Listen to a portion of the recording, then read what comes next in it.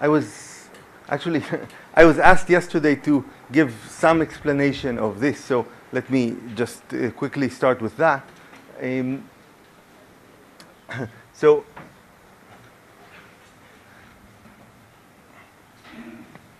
so remember, d of t was the uh, the total variation distance maximized over the starting point of the distribution at time t minus the stationary distribution. now, suppose we take an eigenfunction, so pf is lambda f. This is just the right eigenvector for the transition matrix. And let's normalize it so that its maximum norm, I'll write infinity norm, is 1. In fact, let's take the maximum of f itself to be 1. So if we need to, we are going to normalize f and flip its sign, so we can certainly ensure that f will satisfy that. And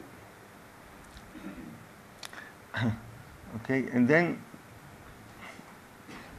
if you look at um,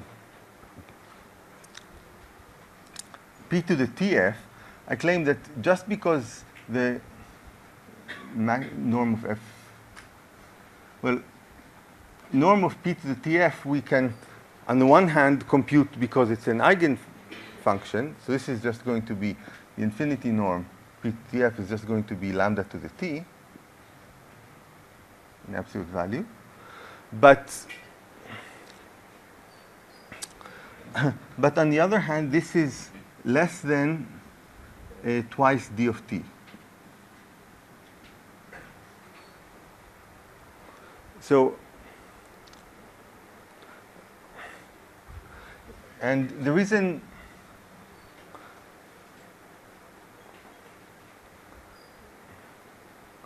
Okay, and the reason for that is just the definition of the total variation norm as, as half the L1 norm. So if I take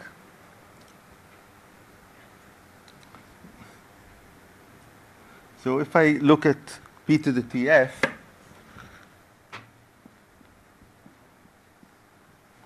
um, and I want to, at some point,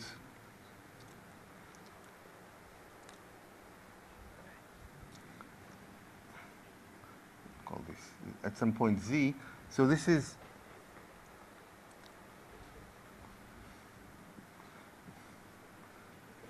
by definition, it's a sum.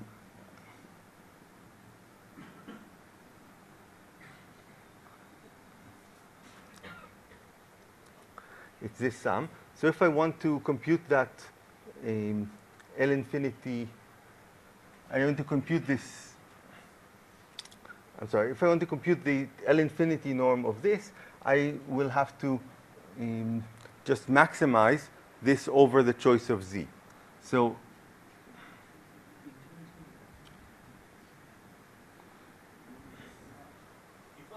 Yes.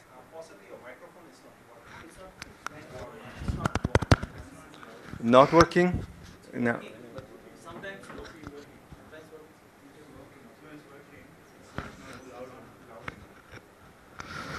Okay, I'll, I'll try to just speak louder, but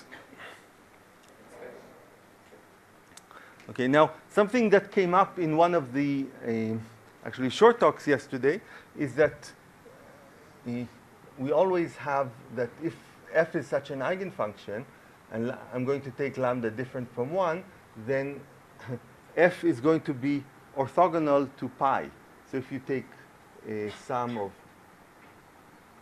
uh, f of w, pi of w, this is always 0. Okay, good. So in the reversible case, this is just the fact that I, uh, this is the fact that eigenfunctions to, uh, with respect to different eigenvalues are always orthogonal, but this in fact is true even in the non-reversible case. Anyway, uh, so using that, we can just rewrite this as the sum of pt zy minus pi y times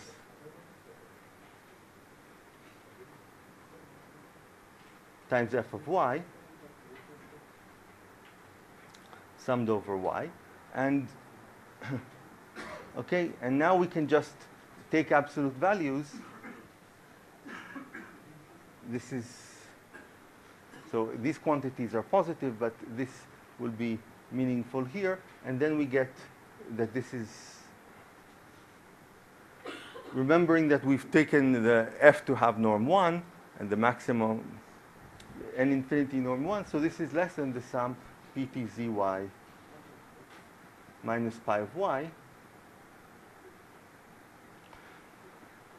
okay which is the uh, total variation which is the L1 distance between PT and pi. So because if we take now Z, which is, so take Z that uh, maximizes.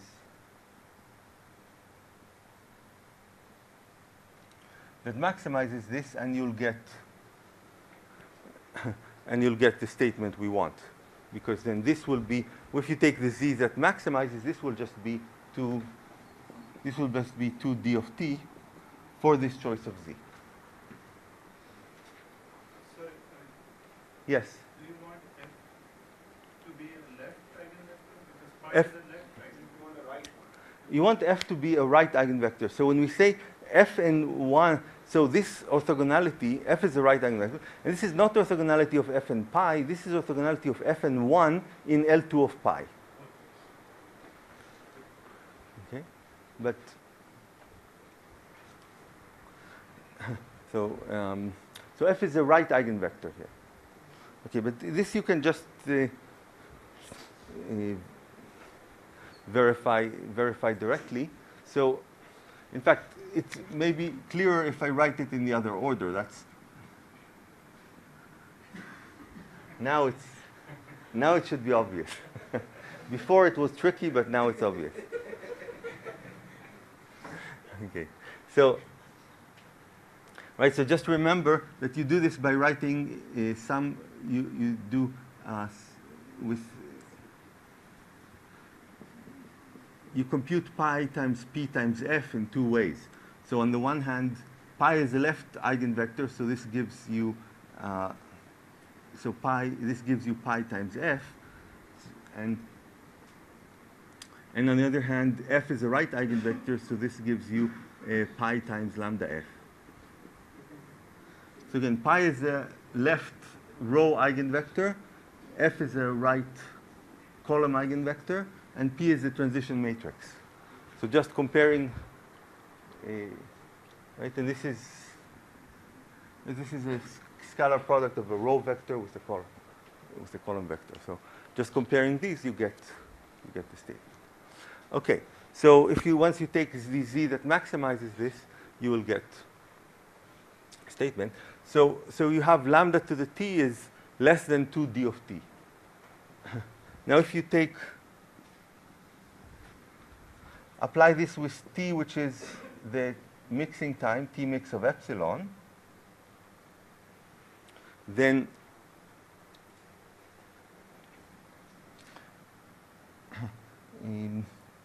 okay, then what you get is that lambda, lambda to the t is going to be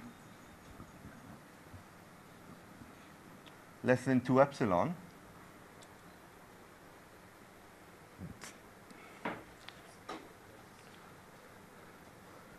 Okay, so t times the log of 1, so of 1, so take 1 over and take log, so it's bigger than the log of 1 over 2 epsilon. but this is less than t times uh, 1 over lambda minus 1. Okay, and, and from here to here it is you know, one, one, one more step of algebra that I will leave to you. So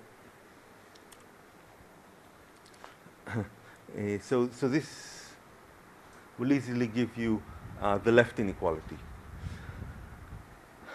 As, as for the right one,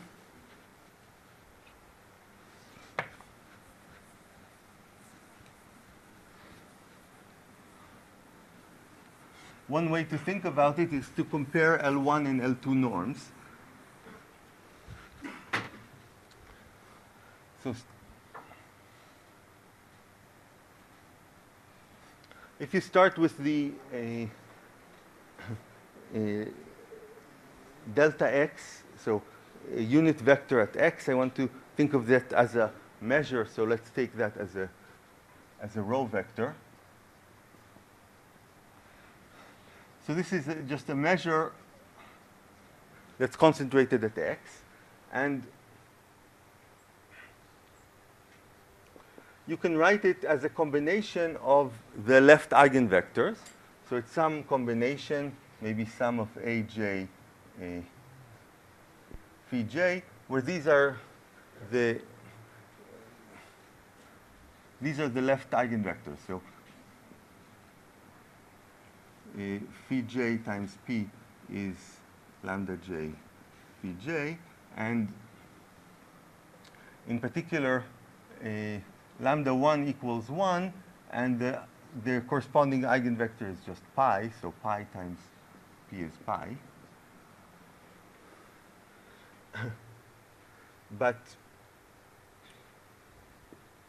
now you take this identity and you apply p to the t to both sides, so delta x p to the t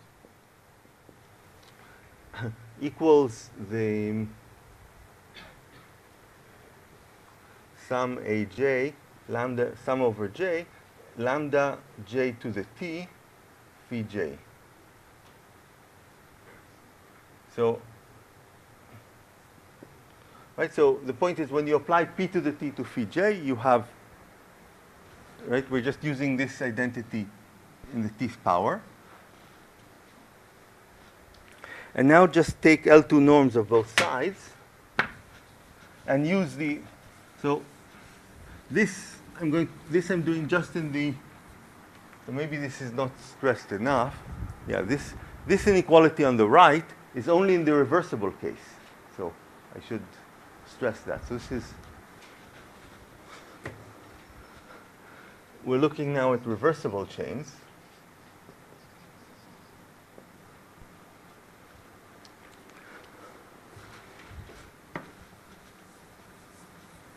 Okay?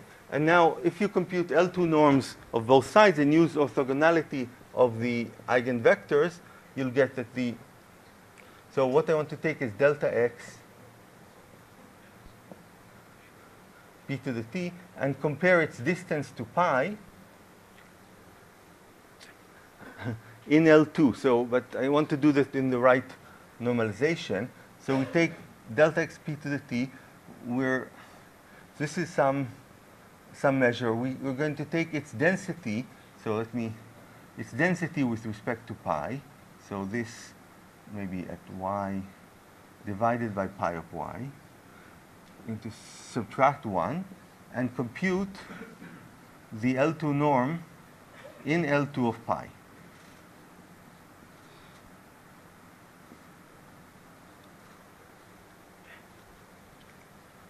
Where y is the variable. Okay, so let's compute uh, this this L2 norm squared. So the phi j are orthogonal in L2 of pi. That is the that is the key thing here. So um, let's see. So we may want to write this expression. So when I take and so, yeah, so actually, let me change this a little bit. The function I want to expand in L2 is, is actually going to be delta, the den Yes, I'm trying to explain the second inequality, yes, which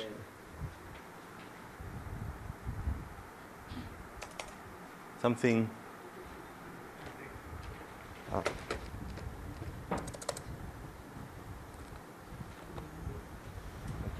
so so in fact, it's best. Let me change this a little bit. It's best to do this expanding, not delta x.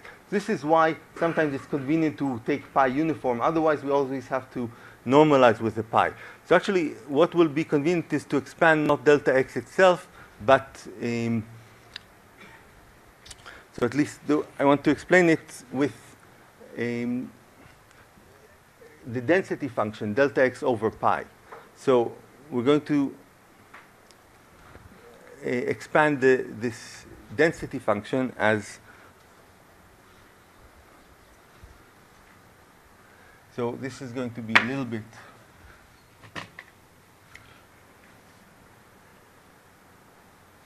me change this a little bit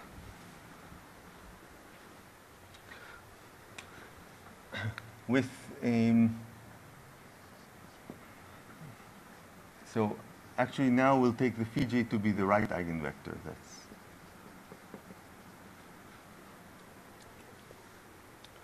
actually the best way. Then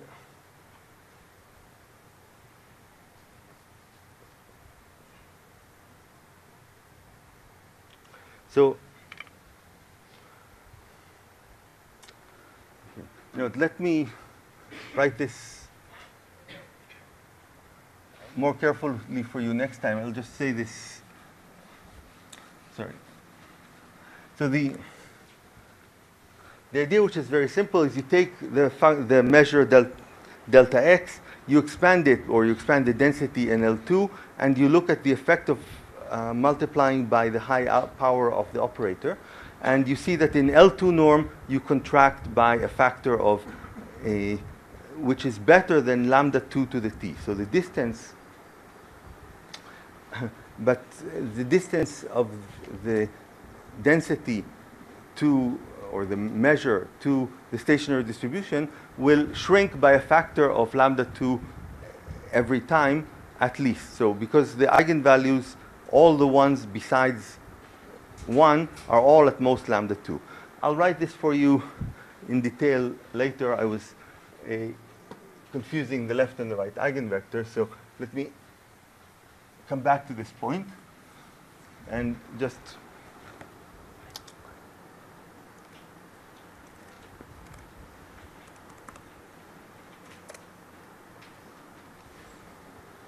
all right. So, so I'll come back to this uh, right-hand inequality. Um, okay. So one topic which uh, uh, often the graphs we're interested in are bipartite graphs. So the so in a bipartite graph, the random walk doesn't mix because at any time you are either on the left side or on the right side of the graph. Uh, so a standard remedy to this is if we have a bipartite graph, we look at the corresponding lazy chain. And this is often convenient even if the graph is not exactly bipartite. Um, so for any chain, we can make it lazy by um, making the simple change, averaging P with the identity matrix. So, so this corresponds to at every step, instead of moving with the chain, we toss a fair coin. If it lands heads, the chain, we take a step. If it lands tails, we just stay where we are. So that's a lazy chain that corresponds to a given chain. And um, such a lazy chain always has the property that pxx is greater or equal half. So that's our formal definition. A chain is lazy if pxx is at least a half. Now, when you do this kind of averaging, so you start with any chain and average p with the identity, of course, all the eigenvalues will be also averaged with 1. So all the eigenvalues will be in the interval 0, 1 instead of in the interval minus 1, 1. And positive eigenvalues are also convenient to work with. so, in, so some examples that we'll see uh, in some more detail are lazy random walk on a cycle and lazy random walk on a hypercube. In both these cases, uh, one can compute explicitly all the eigenvalues and eigenfunctions. and use that to get an ex- exact spectral decomposition of the walk. So one thing you get from, see, um, so a useful formula you get from the spectral theorem is if I look at ptxy, divide by pi of y, this is equal to the sum over j, lambda j to the t. Now I'll call them fj, fjx, fjy.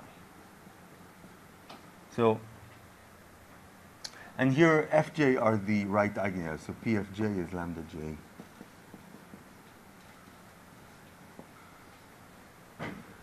fj, and the fj now are normalized in L2.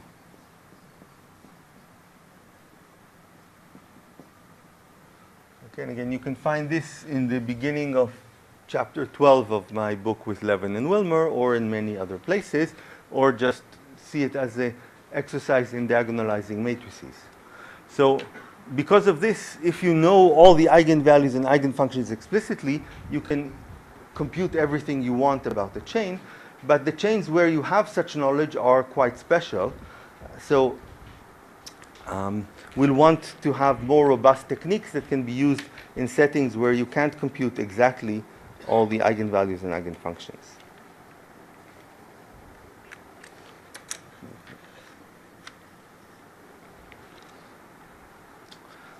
Okay. Now, one difference is in the cycle, it turns out the relaxation time and the mixing time are both order n squared. So the while on the hypercube they are different. We'll see the significance of that soon. Okay, now besides explicit calculation with eigenvalues and eigenfunctions, another technique that uh, certainly probabilists like a lot is the method of coupling.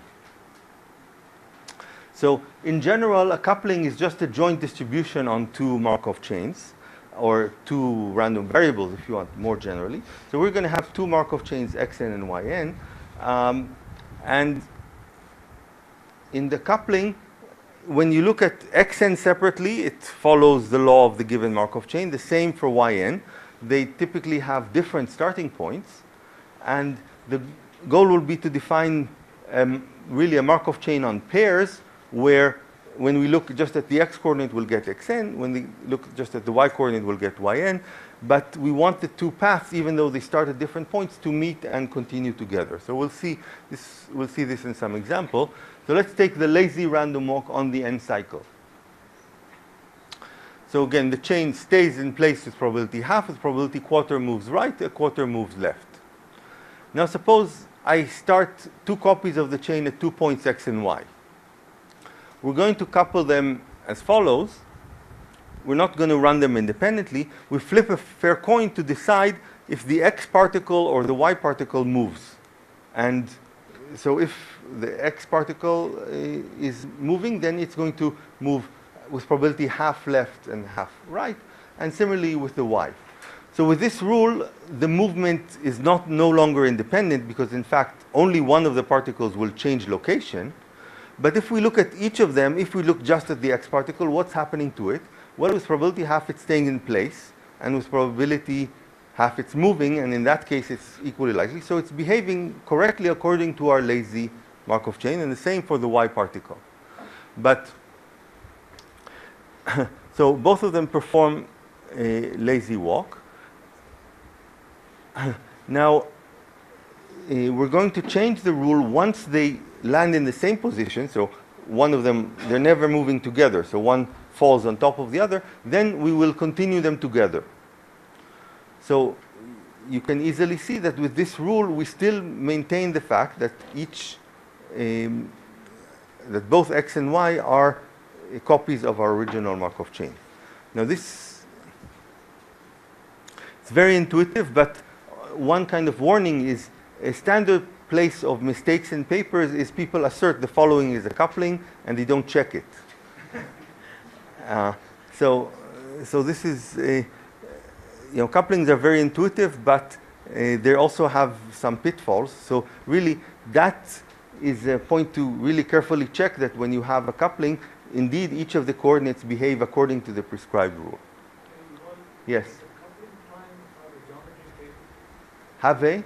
geometric table in, in this particular coupling that you're supposing, Well, it's not exactly geometric, but in it's dominated by some geometric, but the parameter of this um, geometric can be large. So uh, the, it's so you know as the cycle grows, the you know the parameter of this geometric grows. So it's not. Right. And, and since we want, you know, there's a classical, you know, besides the classical theory of Markov chains, there is a theory of uh, chains on general state spaces. And often in that theory, you'll see statements like geometric ergodicity.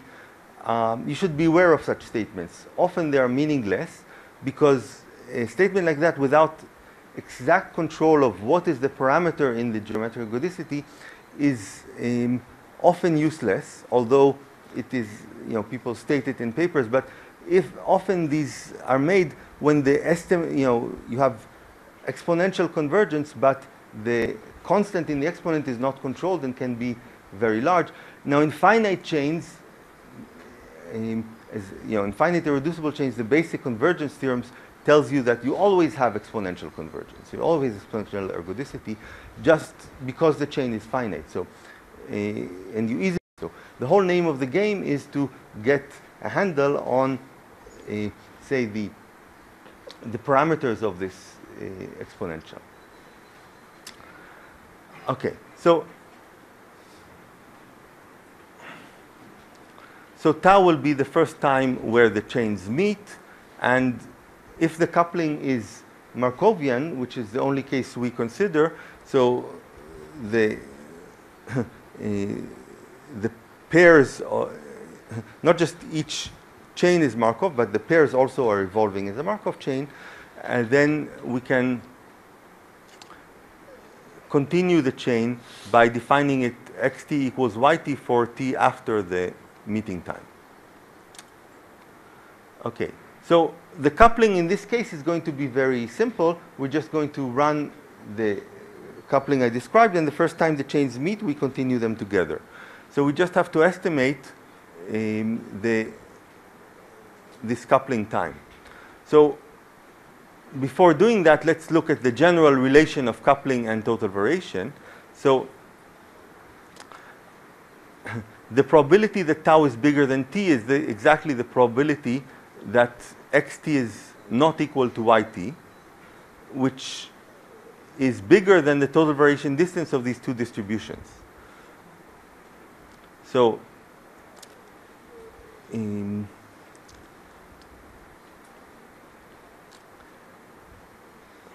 so and so it follows that if there is a coupling for so this is remember that the total variation distance between pt and pi is at most the maximum of the total variation distance between ptx dot and pty dot. So if for every two initial states I have a coupling with the, then we can bound d of t, our, ma our maximal total variation distance, by uh, the maximum over all pairs xy of the probability that the coupling time is bigger than t. Okay? This is a very simple um, and, and classical inequality, but in fact it was David Aldous who realized how powerful this method is.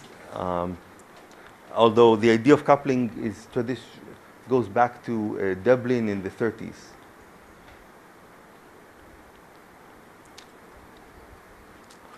Okay. Now, if we look at the clockwise, so let's go back to the example of the cycle um, and the coupling I described to you, and let's look at the clockwise difference between the two particles.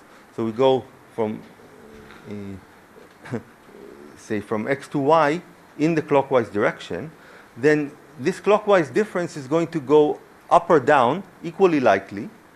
Uh, and when it reaches either 0 or n, it stops.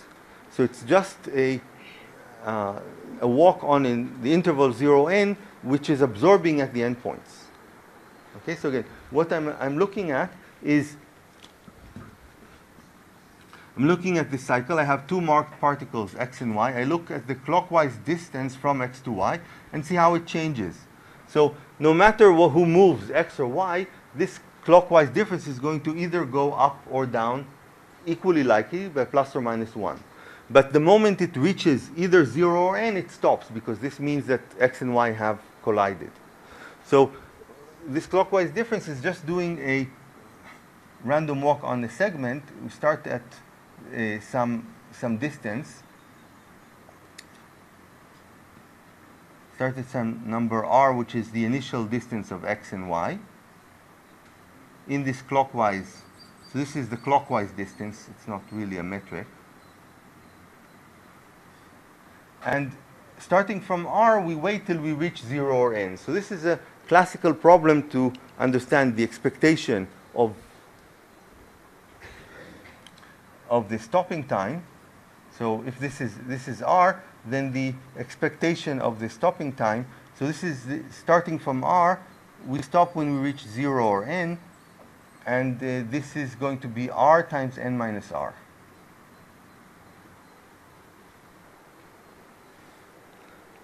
Who, who remembers how to prove how to prove this formula? Martingale. So, right. Let's.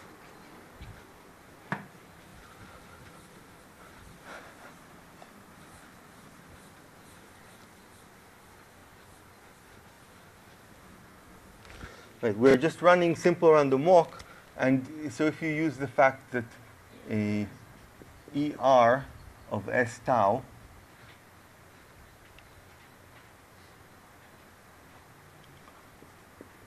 equals R and ER of S, what's what's most relevant is that S tau squared minus tau is going to be uh, is going to be a martingale. So just the S tau squared.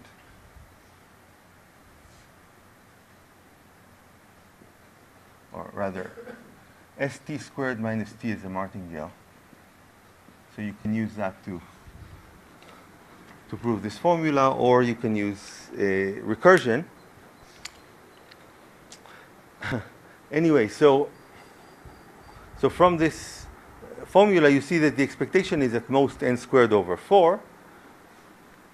You just choose xy For any, right, you choose xy are arbitrary because we have to maximize over the choice of xy. But for any xy, the expectation of tau is at most n squared over 4. The maximum is when they are antipodal. And so the and so just from Markov's inequality, we get an estimate. The probability is at most n squared over 4t. and so if we want to relate this to a geometric random variable, we can, once we've done this calculation to an explicit geometric, we could say as follows. Since the expectation is n squared over 4, this, I have some estimate here. One can improve this estimate always to an exponential estimate if you want by just saying, if I run for time which is twice the expectation, so n squared over 2, then I know that the probability, just from Markov inequality, the probability that uh, tau is bigger than twice its expectation is at most a half. So I can define um, a success if tau is less than twice its expectation.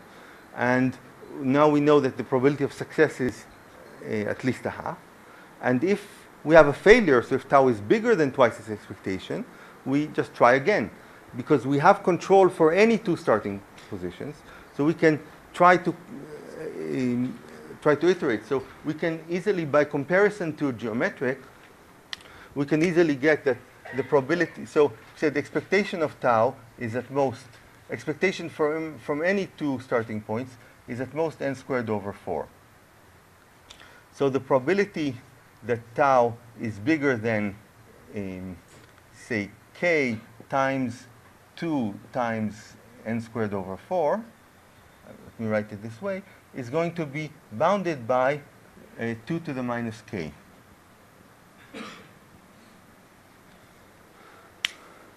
It's, so this is just a geometric variable, or you can think of just independent experiments. Each time I wait twice this expectation, with probability half I've coupled. If I'm not, I'm at some new locations, but because we considered worst case locations, we can repeat the experiment again. Each time we couple with probability at least a half. This gives you a comparison to the geometric, which will give you a tighter bound than a direct application of Markov as I wrote here. Um, however, for so this is relevant if we want to get d of t to be very small. If you want d of t to be less than some tiny epsilon, then the answer will it will take a, you know n squared times the log of 1 over epsilon. But if you only care about epsilon, which is a quarter, then this improvement doesn't matter, and that's what I wrote here. So if you take t bigger than n squared, you get the t mix, which was defined with the quarter, is at most n squared. If you want exact dependence on epsilon, you should use this geometric trick that I mentioned here. Um, right. On the other hand, you see that the cosine function, uh, properly scaled, is a eigenfunction for the walk, and that's why it's easy to see that the relaxation time here is also order n squared. And so, in this case, the mixing and relaxation time are the same order. Now, suppose we have a d-dimensional torus. So, what is that? It's just a product of d cycles, and or you can think of it as a d-dimensional lattice, but you quotient um, you quotient each coordinate mod n. So, oops. Um, so a particle in the torus, in, in one step, it's going to only move in one coordinate. It will select which of the d coordinates to move and then move up or down in that coordinate. So we want to give a coupling analysis of the mixing time here, at least to get uh, some bound. And here we have to be a little more clever because if we just let the particles move independently, say uh, one moves, one stays in place, until they meet by chance, this will take a very long time. It will take like n to the, if we're in uh, d, d dimensions, d at least three, it will take them n to the d steps to meet when they're just moving randomly in space. but the, the real mixing time is much smaller. So we have to use a more clever coupling. And uh, one possibility is suggested here. Um, so select one coordinate at random. If the particles agree in the selected coordinate, move the particles together in that coordinate. Okay?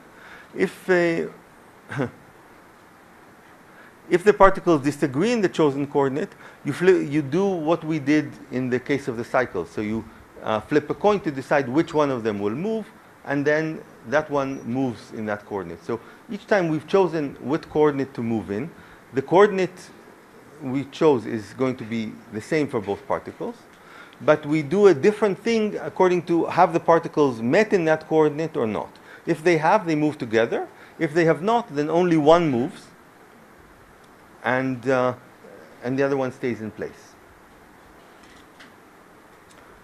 Okay, so, so here is an example. We have the two particles, x and y. There, these are their coordinates. Here we chose, the we chose the first coordinate. I'm sorry, we chose the second coordinate.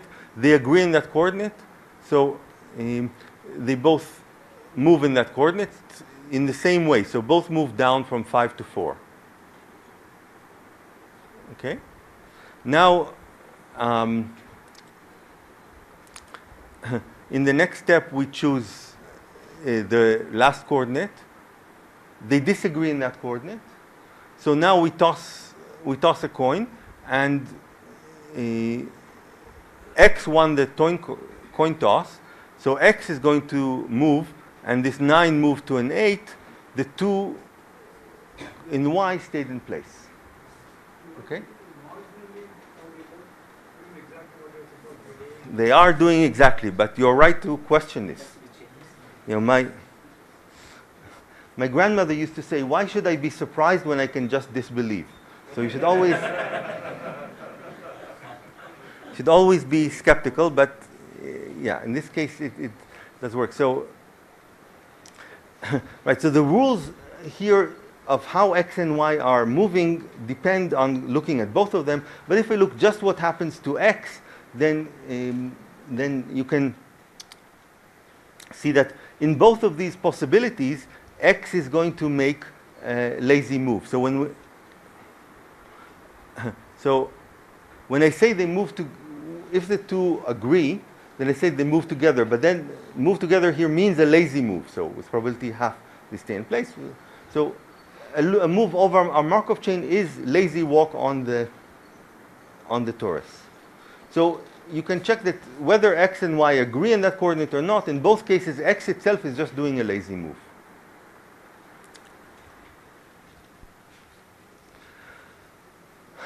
Okay, so um, so the expected time to couple the ith coordinate is going to be d times n squared over 4 at most. Because it's the same story as before uh, in the cycle except that that coordinate only gets to move with probability 1 over d. So we, ha- we have a delay. What before we had expected time to couple in, in we had just one coordinate and we had n squared over 4 now it's the same story but that coordinate is only moving 1 over d of the time. So if you want from a formally you can think of this as an application of Wald's lemma. Wald's lemma tells you that if I'm summing independent variable IID variables and um, they me remind you of Wald's lemma. This is very intuitive, but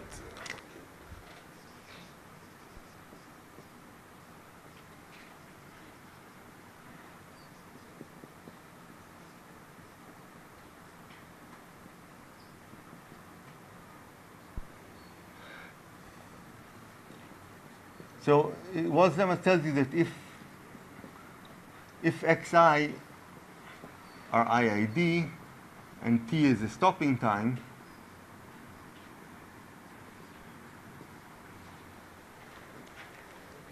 then the expectation is just the expectation of t, I'm sorry, expectation of t times the expectation of x1. So here, the if I'm looking at one coordinate, say the coordinate, seventh coordinate, the random variables I'm summing is how long until I choose that coordinate. This is, these are geometric variables with mean d. And the number of these summands I'm taking is how long until in the cycle when I'm only moving that coordinate, how many steps do I need until, uh, until I couple. So that random variable, the stopping time, capital T here, is Uh, what we handled in the previous discussion. So that will give us the n squared over 4. And the summands all have mean exactly d because the summands are just the waiting time until I pick again this same coordinate. Okay, so that gives us the dn squared over 4. Now, since they're d coordinates, the expected time for all of them to couple, this is one naive bound, is going to be at most d squared n squared over 4 because I'm looking at the maximum of these variables. I can bound it, always bound the maximum by the sum, and this will get this inefficient bound d squared n squared over 4. Um, so this gives you the right dependence on n. So you see, the, no matter so I'm thinking of the dimension d as maybe a large constant. n is going to infinity. And this is the right dependence on n, so it's constant n squared. But the dependence on d is not sharp with this argument. So we were uh, being uh, too lax in the last thing, bounding the maximum by the sum. So maybe one exercise for you to think about, and I'll come back to it, is to improve the dependence on d. I'll give you a hint. Instead of d squared, what is needed there is uh, d log d. So that's that's the correct dependence on d. Uh, eh, well, d log d reminds us of coupon collector, but how do you employ the coupon collector to to do it here? The first D is already there. What? you improve it. Right. So you so Exactly. So if I'm looking for the coupling, certainly I need the, to couple in the first coordinate. So just if just to couple in the first coordinate is going to take me now dn squared over 4. So that's clearly, or um, that's clearly a lower bound, uh, dn squared over 4. But of course, I need to couple in all coordinates. So this argument said a crude upper bound, saying, well, I have a maximum of random variables. I can always bound a maximum of positive variables by their sum, and then I can easily compute the expectation. But this is uh, too generous. So uh, may want to think how to improve that. So it is kind of of the same nature as coupon collector bounds, but I don't see you know, an exact deduction from the coupon collector. So uh, it's actually more related to Krishna's question earlier about geometric, this uh, geometric, how we relate this to geometric variables. Anyway, I'll, I think it's good for everyone who's not seen this to, uh, you know, think a little bit on their own about this, and then uh, I'll, I promise I'll uh, share, share the argument with you later.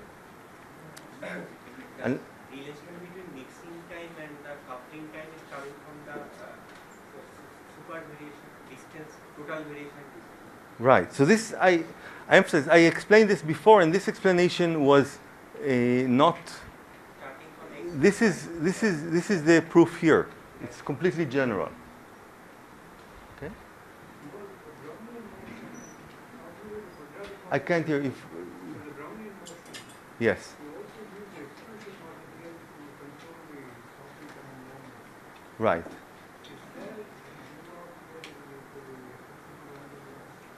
you know, Yes, all, all these things have, you know, can be done with looking at moment generating functions, yes. So the argument, this kind of uh, elementary uh, repeated experience argument can be replaced by uh, argument with, you know, on, on the moment generating function, and that can work. Uh-huh. Yeah, that, that, that can be done. Okay, I'll come back to this point. Yes. So, yeah, uh, let, let's see. Okay, so, so we'll take a break now and, and continue.